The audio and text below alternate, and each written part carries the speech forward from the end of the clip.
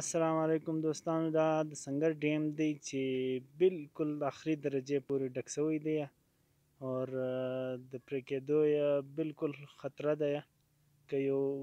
باران دوه بل وسو یې بالکل پرې کېدو خطره یې ده ولې چې د پر باري باندې هم تر اوسه نه دی روان او هلته سر ته رسېدلی دی بلکل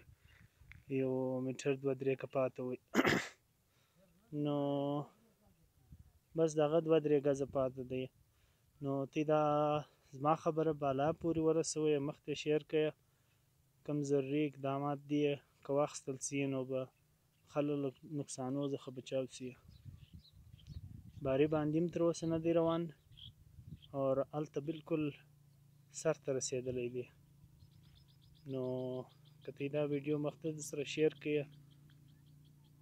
بالا او کام پوری ورسجی